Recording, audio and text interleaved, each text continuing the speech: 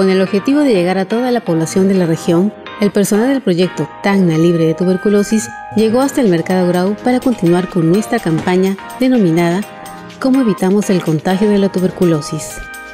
Al celebrarse el 15 de mayo, Día Internacional de la Familia, las especialistas en salud del proyecto, junto a Punmin, hicieron un recorrido por sus diferentes puestos con el propósito de fomentar acciones de prevención sobre la tuberculosis.